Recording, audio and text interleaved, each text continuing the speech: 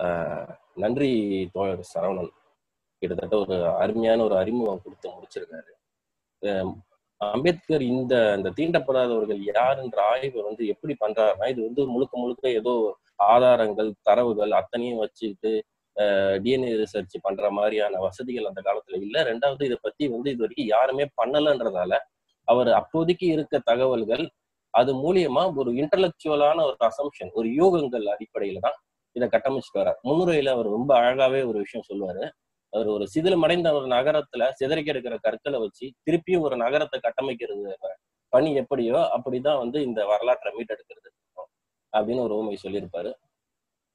முக்கியமா இது இதுக்கு முன்னாடி யாரும் பண்ணலன்றதால தான் இதுல இறங்கி பண்ணியே ஆகணுன்ற ஒரு அவரே ஒரு நிர்பந்தத்தை உருவாக்கிட்டு இதுல இறங்கி இருக்காரு ஸோ இதுல வந்து ரொம்ப வரலாற்று ரீதியான தரவுகள் எல்லாமே வந்து ஆதாரப்பூர்வமாக அப்படின்றதெல்லாம் இதுல பெரும்பாலும் இருக்காது. ஐ மீன் ஓரளவுக்கு இருக்காது. ஆனா எல்லாமே ஒரு இன்டலெக்சுவலான ஒரு அசம்ஷன் அது வந்து அந்த லாஜிக் வந்து ரொம்ப நல்லாவே இருக்கு அப்படி இந்த ரெண்டாவது பகுதியில வந்து அவர் எதை டீல் பண்றாருன்னா தீண்டப்படாதவர்கள் வாழும் பகுதிகளை குறித்து தான் அவர் டீல் பண்றாரு. அதாவது இந்தியாவே முழுக்க ஒரு ரெண்டு இந்தியாவா இருக்கு. ஒண்ணு ஊர் இன்னொன்னு சேரி. இப்படி கிட்டத்தட்ட ஒரு இருபத்தைந்து கோடி மக்கள் இந்த மக்கள் தொகையில ஒரு இருபத்தஞ்சு சதவீத மக்கள் வந்து எப்படி வந்து ஊருக்கு வெளியே சேரியில இந்தியா முழுக்க அதாவது காஷ்மீர்ல இருந்து கன்னியாகுமரி வரைக்கும் எப்படி வாழ்றாங்க? இந்த சம்பவம் எப்படி நடந்திருக்க வாழ் வாய்ப்பு இருக்கு? இதுக்கு முன்னாடி வெளிநாடுகள்ல இந்த மாதிரிதான் வாழ்ந்திருக்காங்களா? அது குறித்தான ஆய்வு தான் இந்த இடத்துல அவர் பண்றாரு. இதை வந்து ஃபர்ஸ்ட் அடிப்படை ஆதாரங்களா எதை கொண்டு வர்றாருன்னா ஒரு உயிர்களோட ஒரு இந்திய சமூகம் ஒரு பொதுவான ஒரு சமூகம் ஒரு பண்டைய சமூகத்துல இருந்து ஒரு நாகரிக சமூகம் சமூகமா எப்படி உருமாறுது மனித மானுட சம வரலாறுன்றத அடிப்படையா வச்சுக்கிட்டு அதுல இருந்து இந்தியா கூட அதை பொருத்தி பாக்குறாரு அதுல அத வந்து உலக நாடுகள்ல இது மாதிரியான வாய்ப்புகள் இருக்கா? அங்க எப்படி நடக்குதுன்றதை ஒப்பிட்டு பாக்குறாரு அங்க இது மாதிரி வந்து ஊருக்கு வெளியே வாழ்ந்த மக்கள் பிற்காலத்துல எப்படி ஊரோட இணைஞ்சாங்க இந்தியாவில ஏன் அது நடக்கல? அப்படின்ற ஒரு பதிலையும் சொல்லி அதை முடிக்கிறார். அதுதான் இந்த பகுதியோட சுருக்கம். முதல்ல தீண்டப்படாதவர்கள் கிராமத்துக்கு வெளியே வசிப்பது ஏன் அந்த டாபிக் உள்ள ஒரு சில வாதங்களை முன்வைக்கிறார். ஒண்ணு வந்து ஒரு ரெண்டு வகையா இதை புரிஞ்சுக்கலாம். தீண்டப்படாதவர்கள் வந்து அவங்க தீண்ட ஊருக்குள்ள இருந்து அவங்க மேல தீண்டாமை சுமத்தப்பட்டு ஊரை விட்டு வெளியே துரத்தி அடிக்கப்பட்டார்களா? இல்ல ஆரம்பத்துல இருந்தே ஊருக்கு வெளியே வசிக்கிறவர்கள் வந்து பின்னாடி வந்து தீண்டப்படாதவர்களா ஆனாங்களா? இந்த கேள்வியை வந்து அவர் முத ஆய்வுக்கு வைக்கிறார். இதுக்கு வந்து இந்து சாஸ்திரங்கள்ல இருந்து ஒரு உதாரணங்களை முன்வைக்கிறார். மனு தர்மம் என்ன சொல்றது சண்டாளர்களை வந்து கிராமத்துக்கு வெளியே வைக்கணும் அவங்களுக்கு வந்து பிணங்களுக்கு பொருத்தப்பட்ட துணிமணிகள் தான் அவங்களுக்கு உடையா இருக்கணும்னு சொல்லுது. அடுத்து வந்து எந்த ஒரு இந்து மதத்துக்குள்ள இருக்கவங்க யாருமே இந்த சமய கடமைகளை பூர்த்தி செய்வர்கள் எவரும் அவர்களோட வந்து கலந்து பழகக்கூடாது. இரும்பு ஆன ஆட ஆபரணங்கள் தான் அவங்க அணியணும்னு சொல்லுது. அதே மாதிரி பகல்ல வந்து அவங்க வெளியே சொல்லலாம் செல்லலாம் இரவுல வரக்கூடாது. மன்னன் ஆணையிட்டா குற்றவாளிகளை தூக்கில் போடுற பணியை அவங்க செய்யணும். இப்படி வந்து சண்டாளர்களை பத்தி மனு தர்மம் கூறுது. சோ இதுலயும் அவ இத ரெண்டு வகையா புரிஞ்சுக்கலாம். அதுவரை கிராமத்துக்கு வெளியே உள்ளே இருந்தவங்க வெளியே வந்து இந்த மாதிரியான ஒரு ஒரு ஏதோ ஒரு சம்பவம் நடந்து அதுக்கு மேல தீண்டாமை அவங்க மேல சுமத்தப்பட்டு வெளியே அனுப்பலாம். இல்லைன்னா ஏற்கனவே வெளியே இருந்தவங்க கிராமத்துக்கு வெளியே தான் இது வரைக்கும் வாழ்ந்து வந்தவங்க மேல தீண்டாமை சுமத்தப்பட்டிருக்கலாம். அம்பேத்கர் வந்து இந்த ரெண்டாவது விஷயத்த தான் தேர்வு பண்றாரு. ஊருக்குள்ள இருந்து அவங்க வெளியே அனுப்பிச்சாங்கன்ற ஒரு வாதத்தை வந்து அவர் ஏத்துக்கல. ஏன்னா அது இயல்பா நடக்கக்கூடியது இல்ல அப்படின்றாரு. ஏன்னா இந்தியான்ற ஒரு பெரிய பரப்பளவு ஒரு நாட்டுல ஒரே சமயத்துல ஊருக்குள்ள இருந்து இவ்வளவு பேரை வெளியே தள்ளுறதுக்கான வாய்ப்புகள் சாத்தியக்கூறுகள் ரொம்ப கம்மி. அவ்வளவு சக்தி வாய்ந்த ஒரு சர்வாதிகாரியான அரசர் வந்து அதெல்லாம் பண்ணியிருப்பாருன்றத நம்மளால நம்ப முடியல. ஆஹ் சோ வந்து இவங்க ஆரம்பத்துல இருந்தே வெளியே தான் வசிச்சிருக்கணும் அப்படின்னு ஒரு ஸ்டான்ஸ் எடுக்கிறாரு. அந்த அந்த அவரோட நிலைப்பாட்டை நிறுவ நிரு நிரூபிக்கிறதுக்கு அவர் என்ன பண்றாருன்னா மாடோட வரலாற்றை எடுக்கிறார். பூர்வீக சமூக சமுதாயங்கிறது நவீன சமுதாயமா மாறுறதுக்கு ஒரு ரெண்டு வகையான பரிணாம வளர்ச்சி வந்து நடந்திருக்கு. ஒண்ணு அதுக்கு முன்னாடி வந்து ஒரு குலமரபா மட்டும்தான் சமூகம் இருந்திருக்கு. அதாவது ஊர் ஊரா இவங்க வந்து நாடோடிகளா போவாங்க. ஆனா ஒவ்வொருத்தவங்களும் ஒவ்வொரு குலமா இருப்பாங்க. இந்த குலம்ங்கிறது ஒரு கட்டத்துல வந்து என்னவா ஆயிருக்குன்னா ஒரு அது ஒரு குளநலம் ரத்த பந்தங்கள் அடிப்படையில உருவான ஒரு குலம்ங்கிறது பின்னாடி வந்து பிராந்தியமான ஒரு பகுதியில வசிக்கிறவங்கள் அடிப்படையில ஒரு குழுவா மாறுறாங்க. இது ஒரு பரிணாமம். ஆஹ் அதுக்கு ஒரு உதாரணம் சொல்றாரு ஜான் மன்னன்ற ஒரு பிரிட்ட இங்கிலாந்தை சேர்ந்த அரசர் தான் முன்ன முதல் முதல்ல தன்னை வந்து அவர் ஒரு இங்கிலாந்து அரசர் அப்படின்னு அறிவிச்சிருக்காரு. அதுக்கு முன்னாடிலாம் எல்லாம் ஆங்கிலேயமா ஆங்கிலேய மன்னர்கள் அப்படின்றது தான் குறிப்பிட்டிருக்காங்க. இது என்னன்னா ஆஹ் இதுக்கு முன்னாடி வந்து இருந்த அரசர்கள் எல்லாமே தங்களை ஆங்கிலேயர்களாக ஒரு குலமரபாக தான் தங்களை வந்து அடையாளப்படுத்திக்கிட்டாங்களே தவிர இடத்தின் அடிப்படையில பண்ணல. ஆனா ஜான் மன்னன் காலத்துலதான் இங்கிலாந்து என்ற ஒரு பகுதியில ஆள்ற மன்னன் அப்படின்னு தன்னை நிரூபிக்கிறான். இது வந்து மானுட வரலாற்றுல ஒரு பரிணாமம். இதை முன்வைக்கிறார். ரெண்டாவது வந்து பூர்வீக சமுதாயத்துல இருக்க அதாவது நாடோடிகளா இருந்த சமுதாயம் வந்து நிலையான குடியாக குடிகளாக மாறுறது. ஒரு இடத்துல தங்குற நிலைமைக்கு வந்து வர்றது. இது வந்து ஒரு முக்கியமான அம்சமா அவர் சொல்றாரு. ஆஹ் பூர்வீக சமுதாயம் நாடோடி சமுதாயமாக இருந்தது என்பதில் ஐயம் இல்லை. ஆனால் இது நாடோடி சமுதாயமாக இருந்ததற்கு அதன் உள்ளார்ந்த உண்ணுணர்வு இயற் தூண்டுதல் காரணம் அல்ல தனித்த மாண்புகளும் காரணம் அல்ல ஆஹ் அதாவது என்னன்னா ஒரு பூர்வீக நாடோடி சமுதாயமா இதுக்கு முன்னாடி மக்கள் சமூகம் வாழ்ந்ததுக்கு வந்து அது அவங்களோட ஒரு தனிப்பட்ட திறமையோ இல்லை அது அவங்களோட வந்து ஆர்வமோ காரணம் கிடையாது. அப்போதைக்கு அவங்களுக்கு செல்வம்னு இருந்தது கால்நடைகள் தான். கால்நடைகள் ஒரு பருவநிலைக்கு ஏற்ற மாதிரி ஒரு இடத்துல இருந்து ஒரு இடம் மாறி மேயும். இங்க போகும் அங்க போகும் அதை தொடர்ந்து இவங்களும் போயிட்டு வந்ததன் காரணமாக தான் இவங்க வந்து ஒரு நாடோடி சமுதாயமாக இருந்தனர். ஆனா ஒரு காலத்துல என்ன ஆயிடுச்சுன்னா இவங்க வேற ஒரு செல்வத்தை கண்டு பண் கண்டுகின்றாங்க அதாவது ஒரு இடத்துல இருந்து விவசாயம் பண்ணி அதன் மூலியமா வர வருமானம் வந்து கால்நடை மேய்ச்சல்ல கிடைக்கிறத விட ஒரு ரொம்ப சுலபமான அதே வகையில ஒரு வளமான வாழ்வு கிடைக்கிறதால பின்னாடி வந்து ஒரு இடத்துலயே குடியிடுறாங்க. அது பேர் அதுக்கு பேர் வந்து குடியேற்ற சமூகம்னு அம்பேத்கர் குறிப்பிடுறாரு. அதாவது இதுதான் ஒரு சிவில் சொசைட்டி. நாடோடிகள நொமேடிக்ஸா இருந்தவங்க ஒரு சிவில் சொசைட்டியா மாறுறாங்க. ஃபர்ஸ்ட் வந்து குளமரபுல இருந்து பிராந்திய அடையாளத்துக்கு வராங்க. ரெண்டாவது நாடோடிகளா இருந்து ஒரு இடத்துல வந்து செட்டில் வராங்க சரி இதை ஏன் அவர் சொல்லிட்டு வர்றாருன்னா இந்த செட்டில் ஆனவங்களுக்கும் ஏற்கனவே எல்லா குலமரபுங்க மனித சமூகம் முழுக்க எல்லாம் ஒரே நூற்றாண்டுல ஒரே சமயத்துல வந்து செட்டில்டு சிவிலைசேஷனா அவங்க மாறல. ஒரு குழு வந்து செட்டில்ட் ஆயிருக்கும். இன்னொரு சிறு குழு வந்து சுத்திக்கிட்டே இருந்திருப்பான். இந்த குழுக்கள் இடையே எப்பயுமே அமைதிகள் எல்லாம் இருந்தது கிடையாது. ஒருத்தவங்க ஒருத்தவங்க அடிச்சுக்கிட்டே இருப்பாங்க. அப்ப செட்டில் ஆன சமூகங்கள் மேல இந்த நாடோடி சமூகங்களா இருக்கவங்க படையெடுக்கிறதும் அவங்களோட ஆணிரைகளை பெண்களை கவர்ந்துட்டு போறதும் ஒரு வழக்கமா இருந்திருக்கு. எப்பயுமே ஒரு நாகரிகமான சமூகம்ங்கிறது வந்து ஒரு பார்பேரிக் சொசைட்டியை வந்து எதிர்க்க முடியாதுங்கிறது இயல்பு தான். ஸோ இவங்களால வந்து ஒரு காட்டு மிராண்டிகளான இல்ல வந்து கொள்ளையடிக்கிறத மட்டுமே இன்டென்ஷனா வச்சுட்டு வரவங்க கூட போராட முடியல. ஸோ இவங்களுக்கு வந்து ஒரு பாதுகாப்புக்கான தேவை இருக்கு. அதே மாதிரி சிதறுண்ட பிரிவினர் அப்படின்னு இன்னொரு ஒரு முக்கியமான ஒரு ஒரு ஒரு குழுவான மக்களை வந்து அம்பேத்கர் வந்து இங்க குறிப்பிடுறார். அது என்னன்னா இந்த நாடோடிகளா இருக்க குல குழுக்கள் இருக்காங்கல்ல இவங்க ஒருத்தவங்க ஒருத்தவங்களுக்குள்ள அடிச்சுக்கும் போது ஒரு குழு வந்து இன்னொரு குலத்தை வந்து முழுசா நாசம் பண்ணிடாது. பாதி பேர் உயிர் பழிச்சு செதறி ஓடிடுவாங்க. இந்த செதறி ஓடின குலங்கள் தான் சிதறுண்ட பிரிவினர் அப்படின்றவங்க. இவங்க வந்து எந்த அந்த காலத்துல இருந்த அந்த பூர்வீக சமுதாயத்துல வந்து ஒரு தனி மனிதன்றது ஒரு குலத்தோட அடையாளத்து இல்லாம அவனால வாழ முடியாது. அது இல்லைன்னா அவன் பூஜ்யம் தான் ஒரு சிதறுண்ட ஒரு சின்ன பிரிவினரால தனியா சுத்திக்கிட்டு மற்றவங்களோட தாக்குதலுக்கு ஈடு கொடுத்துக்கிட்டு வாழ முடியல.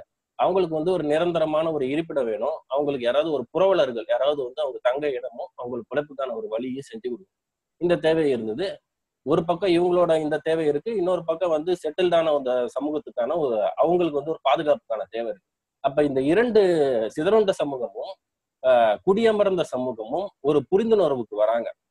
என்னன்னா நாங்க உங்களுக்கு எங்களோட ஊரு ஊர்ல இடம் தரோம் உணவுகள் தரோம் நீங்க வந்து எங்க ஊரை வந்து பாதுகாக்கணும் அப்படின்ற ஒரு புரிந்துணர்வுக்கு வராங்க. இது நடக்கிறது இயல்பு தான் அப்படின்னு அம்பேத்கர் சொல்றாரு.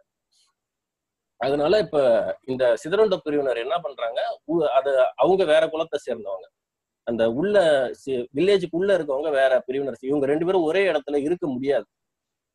அப்ப இருந்த மரபு காரணமாகவும் இன்னொன்னு ஸ்ட்ராட்டஜிக்கலா பார்த்தாலுமே இவங்க வந்து பாதுகாவல் பணிக்கு தான் வராங்க. அதனால ஊர் எல்லைகள்ல வசிக்கிறது தான் அவங்களுக்கு வந்து ஸ்ட்ராட்டஜிக்கலாகவும் ஒரு அட்வான்டேஜா இருக்கும்ன்றதால அவங்க வந்து ஊருக்கு வெளியே ஒதுக்கு தனிய ஊர் எல்லைகள்ல வசிக்கிறாங்க. இதுதான் வந்து சிதறுண்ட பிரிவினர் அப்படின்ற ஒருத்தவங்க உருவான ஒரு வரலாறு. இந்த சிதறுண்ட பிரிவினர் தான் தீண்டப்படாதவர்களா பிற்காலத்துல மாற்றப்பட்டார்கள் அப்படின்னு அம்பேத்கர் சொல்றார். தீண்டப்படாதவர்கள் சிதறுண்ட பிரிவினரா அப்படின்னு இன்னொரு பகுதி இந்த ரெண்டாம் பகுதியில ரெண்டாவது இயல் இது. இதுல என்ன சொல்றாருன்னா சிதறுண்ட பிரிவினர்னு ஒரு பிரிவை சொல்லிட்டாரு இவங்க ஊருக்கு வெளியே தான் இருக்க வேண்டிய சூழல் இருந்திருக்குன்றாரு. ஆனா இவங்க தான் தீண்டப்படாதவங்களா ஆனாங்களா? அதுக்கு என்ன ஆதாரம் இருக்குன்னு என்னோட விமர்சகர்கள் கேட்பாங்க. அதுக்கான தரவுகளை நான் முன்வைக்கிறேன் அப்படின்னு சொன்னாங்க குறிப்பா வந்து இது போல வந்து ஆய்வுகள் வந்து குலச்சின்னங்கள் பற்றியான மானுடவியல் ஆய்வுகள் நடந்தா இதுக்கான ரொம்ப ஆதாரபூர்வமான தகவல்கள் கிடைக்கும். துர்திஷ்டவசமா இந்தியாவில் அப்படி நடக்கல. அதனால எனக்கு தெரிந்த நான் ஆய்வு செஞ்ச வரைக்கும் எனக்கு கிடைச்ச சில தகவல்களை வந்து நான் முன்வைக்கிறேன் அப்படின்னு அம்பேத்கர் இங்க சொல்றாரு. ஒண்ணு வந்து இந்து பழைய சாஸ்திரங்கள் அதுல வந்து அந்தியாக்கள் அந்திய ஜாக்கள் அந்தியவாசிகள் இது போன்ற வந்து சில வார்த்தைகள் பயன்படுத்துறாங்க. இதோட அர்த்தம் என்னன்னா இந்த அவர் ஒரு தேவை கேட்கிறார். இப்படி ஒரு வார்த்தைகளை பயன்படுத்த வேண்டிய ஒரு குறிப்பிட்ட மக்களை இந்த வார்த்தைகள் சொல்லி குறிப்பிட வேண்டிய அர்த்தம் என்ன? அந்திய ஜாக்கள்னா கடையர்கள் இல்ல வந்து கடைசியானவர்கள் அப்படின்ற ஒரு பொருள் வருது. இது வந்து தீண்டத்தகாதவர்கள் வந்து வர்ணாசிரம அடிப்படையில இவங்களை வந்து அந்தியஜாக்கள் அதாவது கடைசியாக பிறந்தவர்கள் அந்தம்னா கடைசின்ற ஒரு பொருள் வருது. கடைசியாக பிறந்தவர்கள்னு சொல்லுதா பார்த்தா அப்படி அர்த்தம் கிடையாது. ஏன்னா வந்து தாழ்த்தப்பட்ட மக்கள் இல்லாத வந்து தீண்டத்தகாத மக்கள் வந்து இந்த வர்ண அமைப்புக்குள்ள வரல. வர்ண அமைப்பு படி மனுசாஸ்திரத்தின்படி நான்காவது சாதியான சூத்திரர்கள் தான் கடைசியாக பிறந்தவர்கள். சோ இந்த வார்த்தை வந்து இந்த அடிப்படையில வந்து தீண்டத்தகாதவர்களை குறிப்பிடல ஆனா இந்த அந்தம்ங்கிற வார்த்தைக்கு வேற ஒரு அர்த்தம் இருக்கு. அது கடைசின்றதுக்கு பதிலா எல்லைன்னு வச்சுக்கலாம். அதாவது ஊரோட எல்லையில வாழ்ந்தவங்கன்றதால இவங்க வந்து அந்தியாக்கள் அந்தியவாசிகள் அப்படின்னு குறிப்பிட்டாங்க. இது வந்து ஒரு ஆதாரமா வச்சுக்கலாம். அதாவது ஊர் எல்லைகள்ல அந்த சிதறுண்ட பிரிவினரா வாழ்ந்த மக்கள் தான் பிற்காலத்துல தீண்டப்படாதவர்களா ஆனாங்க அப்படின்றதுக்கு இது ஒரு ஆதாரம்ன்ற இன்னொன்னு அவரோட சொந்த மாநிலமான அவருக்கு இருந்த மகர் சமுதாயத்தை ஒரு ஆதார ஆதாரமா வைக்கிறார். இந்த மகர் மக்கள் வந்து ஒவ்வொரு கிராமத்திலயும் வாழ்வாங்க. ஒவ்வொரு கிராமத்திலயும் ஒரு சுவர் இருக்கும். அந்த சுவத்துக்கு வெளியே தான் அவங்க வாழணும். அவங்களுக்குன்னு வந்து கிராமங்க கிராமத்தை சேர்ந்தவங்க ஐம்பத்தி ரெண்டு உரிமைகளை வந்து நான் தீண்டப்படாத இந்த மகர் மக்களுக்கு கொடுத்துருக்காங்க. அது என்னென்ன உரிமைகள்னா இந்த மக்கள் வந்து ஊரை பாதுகாக்க வேண்டியது இவங்களோட கடமை. இதுக்காக ஊர்ல இருந்து அவங்களுக்கு வந்து உணவுகள் உணவுப் பொருட்கள் எல்லாமே தந்துருவாங்க. அதே மாதிரி இறந்த உயிர்களை வந்து எடுத்துட்டு போறதும் அவங்களோட வேலை தான் அதை வந்து அவங்க கரியாக்கிக்கலாம் சொந்தமாக்கிக்கலாம். இந்த மாதிரியான உரிமைகள் வந்து கிட்டத்தட்ட இந்த சிதறுண்ட மக்கள் வெளியே என்ன பர்பஸ்க்காக வச்சாங்களோ அந்த பர்பஸ்க்கு வந்து இது ஒத்து வருது அப்படின்றாங்க. ஆனா இதே மகர் மகாராஷ்டிராவை விட்டு வெளிப்பகுதிகளில் இந்த மாதிரியான ஒரு சூழல் இருந்துதான்றது அந்த காலத்துல தெரியல. அம்பேத்கர் என்ன சொல்றாரு? இதை பத்தியான ஆய்வுகள் வந்து இது வரைக்கும் நடக்கல. நடந்தா அதை பத்தி பார்ப்போம். எனக்கு தெரிஞ்ச அடிப்படையில இந்த இது வந்து முழுசான ஒரு ப்ரூஃப் கிடையாதுனாலும் நான் வைக்கிற வாதங்களுக்கு நியாயம் கற்பிக்கிறது மாதிரியான சில கருத்துக்கள் இதுல இருக்கு. எதுவுமே இல்லாத பட்சத்துல இதை கொண்டு வந்து நம்ம கொள்ளலாம் அப்படின்ற அதாவது இதுல இறுதியா என்ன சொல்றோம்னா இந்திய இன்றைய தீண்டப்படாதவர்களின் மூதாதையவர்கள் ஒரு காலத்துல வந்து ஊருக்கு வெளியே தான் வாழ்ந்தாங்க. ஆனா தீண்டாமை அனுபவிக்காத சிதறுண்ட பிரிவினாக மட்டுமே அப்படி இருந்தாங்க அப்படின்னு சொல்லி இந்த ஒரு இயலை முடிக்கிறார். அடுத்து வந்து என்ன சொல்றாருன்னா இப்படி நீ சொல்றியே இது வந்து சிதறுண்ட பிரிவினர்னு ஒருத்தவங்க இருந்தாங்க அவங்க தான் அப்படி ஆனாங்க இது மாதிரி உலகத்துல வேற எங்கேயாவது வந்து இந்த மாதிரி சிதறுண்ட பிரிவினர்னு ஒரு தரப்பு இருந்திருக்கா அப்படின்னு ஒரு கேள்வி இருக்கும். அதுக்கு வந்து அம்பேத்கர் வந்து பதில் சொல்ல வர்றாரு. அயர்லாந்துல ஒரு உதாரணமும் வேல்ஸ் வேல்ஸ் பகுதிகளில் ஒரு உதாரணமும் ரெண்டு உதாரணம் சொல்றேன். அயர்லாந்துல வந்து இதே மாதிரியான ஒரு நிலை இருந்திருக்கு. அதாவது ஒரு மன்னர் மாதிரி ஒருத்தர் குலக்கள் எல்லாம் சேர்ந்து வந்து ஒரு அரசு மாதிரி அமையுது. அந்த அரசோட தலைமையில ஒரு அரசன் இருக்கான். அந்த எல்லை அந்த நாட்டு எல்லைக்கு உள்ள எல்லை பகுதிகளில் வந்து அந்த குலத்துக்கு சொந்தமான பொது இடம் இருக்கு. அதுக்கு வந்து அந்நியர்கள் வெளியூர்ல இருந்து தங்கள் குலத்தை துறந்து இல்ல ஏதோ ஒரு பிரச்சனையால அகதிகளாக வந்தவர்களுக்கு வந்து அந்த இடத்த வந்து குத்தகைத்தாரர்களா கொடுக்குறாங்க. அவங்க குத்தகைக்கு இருந்துகிட்டு அதுல வந்து சாகுபடி பண்ணிக்கணும். இந்த உரிமையை வந்து மன்னர் அவங்க தந்ததுக்காக அவங்க மன்னர் சொல்ற நிபந்தனைகளுக்கு உட்படணும். அதாவது பாதுகாப்பு இது போன்ற விஷயங்கள்ல அவங்க ஈடுபடணும். இது ஒரு உதாரணம். அப்புறம் வேல்ஸ் பகுதிகள்லயும் கிராமங்கள் வந்து ஒரு கிராமங்கிறது பல பண்ணை வீடுகளோட தொகுப்பா இருக்கு. ஒவ்வொரு அதாவது இந்த பண்ணை வீடுகளின் தொகுப்புன்றது இரண்டா பிரிக்கப்பட்டிருக்கு. ஒண்ணு வந்து கட்டுப்பாடுகளற்ற சுதந்திரமா செயல்படக்கூடிய ஒரு குத்தகைக்காரர்கள் இருந்தது. இன்னொன்னு வந்து எல்லா கட்டுப்பாடுகளோட ரெஸ்ட்ரிக்ஷனோட தொழில் செய்ய வேண்டிய குத்தகைக்காரர்கள் இருக்காங்க. அந்த முதல் கட்டுப்பாடு இல்லாதவங்க வந்து வேல்ஸ் உறுதி அந்த வேல்ஸ் குலமக்களோட ரத்த சொந்தங்கள் உடையவங்க முதல் டைப் இன்னொருத்தவங்க வந்து வெளியில இருந்து வந்தவங்க. இவங்க இது இத வந்து இதனால அவங்க வந்து இவங்களோட உரிமை கம்மி. ஆனா வெளியே இருந்துகிட்டு அவங்களோட வாழ்வாதாரத்தை அமைச்சு. அம்பேத்கர் ஏன் இதெல்லாம் வந்து முன்வைக்கிறாருன்னா உலகல்ல வெளிநாடுகள்லயும் இந்த மாதிரியான சிதறுண்டு அதாவது ஊருக்கு வெளியவும் உள்ளேயுமா ரெண்டு சமூகங்களா வசிச்சிருக்காங்க அப்படின்ற விஷயத்த ப்ரூவ் பண்றதுக்காக இந்த விஷயத்த சொல்றாரு. அடுத்து வந்து சிதறுண்ட பிரிவினர்களின் கு- குடியேற்றங்கள் எவ்வாறு மறைந்தன? இந்த பகுதியில என்னன்னா சரி உலகம் முழுக்க வந்து இந்த மாதிரி ரெண்டு பிரிவா மக்கள் வாழ்ந்திருக்காங்க. ஆனா இன்னைக்கு அப்படி இல்லையே. இந்தியாவுல மட்டும்தானே இப்படி இருக்கு? உலகத்துல அதுக்கு முன்னாடி வெளியே அந்த மாதிரி ஊருக்கு வெளியே வாழ்ந்த இந்த சிதறுண்ட பிரிவினர் இல்ல வந்து அகதிகளான மக்கள் பிற்காலத்துல என்ன ஆனாங்க அப்படின்ற கேள்வி கேட்கிறாரு. அஹ் அப்படின்ற கேள்விக்கு பதில் சொல்ல வர்றாரு இதுல என்ன சொல்றாருன்னா சிதறுண்ட பிரிவினர் அயர்லாந்துலயும் வேல்ஸ்லயும் இருந்தது உண்மை. அவர்கள் தனி குடியிருப்புகளில் வசித்து வந்தனர் என்பதும் உண்மை. அதே சமயத்தில் சிதறுண்ட பிரிவினர் தனி குடியிருப்பு வட்டாரங்கள் மறைந்து விட்டன என்பதும் அவர்கள் குடியமர்ந்த குலமரபின் ஒரு பகுதிகளாக கலந்து விட்டனர் என்பதும் உண்மை. அதாவது காலப்போக்கில் அப்படி வெளியே வசிச்சவங்களோட குடியிருப்பு வட்டாரங்கள் ம- மறைந்து இந்த பூர்வீக குழுக்களும் இந்த வெளியே இருந்த வந்த குழுக்களும் ரெண்டு பேரும் இணைந்து கலந்துட்டாங்க அப்படின்னு சொல்றாங்க. ஏன் இப்படி நடந்ததுன்னா இதுக்கும் திருப்பி வந்து இந்த மானுடவியலோட சமூக வ- அந்த மானுட வரலாறு தான் திருப்பி எடுத்துட்டு வர்றாரு. அந்த முதல் பாயிண்ட் சொல்லியிருந்தோம்ல பூர்வீக சமூகம் வந்து நாடோடி நிலையிலிருந்து செட்டில்டு நிலைக்கு வருது. அப்ப வந்து அவங்களுக்கு வந்து குலமரபுங்கிறத தாண்டி பிராந்தியம்ங்கிற ஒரு விஷயம் இந்த பகுதியில வாழ்றோம்ங்கிற மக்க வாழ்றோன்ற விஷயம் வந்து முக்கியத்துவம் பெறுது. அதனால வந்து ஆஹ் பிற்காலத்துல இந்த சட்டங்கள்லாம் நீர்த்து போக வைக்கிற மாதிரியான சில விதிமுறைகளை கொண்டு வராங்க. அதாவது இப்ப அயர்லாந்துல வந்து ஒரு சட்டம் வைக்கிறாங்க. ஒருத்தவங்க வந்து இவங்க கூட அதாவது குடி வெளியே இருக்க அந்த அகதிகள்ல சேர்ந்தவன் மூன்று தலைமுறைகளுக்கு ஒரு குறிப்பிட்ட தலைமுறைகளுக்கு மேல அங்கே வாழ்ந்தாலும் இல்ல அந்த பூர்வீக உள்ள ஊருக்குள்ள வாழ்ற மக்களோட உறவு மன உறவு வைத்துக்கொண்டு உறவினர் ஆகிவிட்டாலும் அவன் வந்து அந்த குலமரபா ஆகிடுவான் அப்படின்னு சொல்லிடுறாங்க. ஸோ இந்த அடிப்படையில வந்து வெளிநாடுகள்ல இந்த மாதிரி ஊருக்கு வெளியே வாழ்ந்த சமூக மக்கள் சாதி மக்கள் வந்து பிற்காலத்துல ஒன்றோட ஒன்றா இணைஞ்சிட்டாங்க. ஆனா இதே விஷயம் இந்தியாவுல நடந்திருக்கணும். அதுக்கான வாய்ப்புகளும் வரலாற்று ரீதியான சாத்தியக்கூறுகளும் இருந்திருக்குது. ஆனா இந்தியாவுல அப்படி நடக்கல. ஒருவேளை நடந்திருந்தா இன்னைக்கு வந்து தனித்த குடியிருப்புகள் நாடு ஃபுல்லாவே ஊர் சேரிக்கு பிரிஞ்சிருக்காது. நடக்காததுக்கு காரணம் என்னன்னா அவர் அம்பேத்கர் அவரோட வார்த்தைகளே படிக்கிறார் ஆனால் இது நிகழவில்லை. ஏனெனில் தீண்டாமை கண்ணோட்டம் குறுக்கிட்டு தீண்டத்தகாதவர்களுக்கு தீண்டத்தக்கவர்கள் தீண்டத்தகாத மக்கள் இடையேயான வேறுபாட்டை நிரந்தரமாக்கிவிட்டது இந்த ஒரு ஒரு அக்ரிமெண்ட் ரீதியா இல்ல வந்து ஒரு தேவையின் ரீதியா ஊரும் செரு ஊரும் வெளிப்புறமா இருந்த மக்களுக்கு இடையில வந்து தீண்டாமைன்னு ஒரு கருதுகோள் வந்ததாலதான் இந்த விஷயம் இன்னைக்கு நிரந்தரமாகி போச்சு.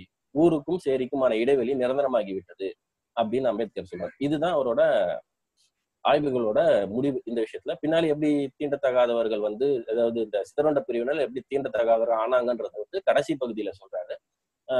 ஸோ அது அப்புறம் கடைசியா பார்ப்போம். இப்போ வந்து மூன்றாம் பகுதி வந்து தோழர் சாரதி கொண்டு போவார். நன்றி.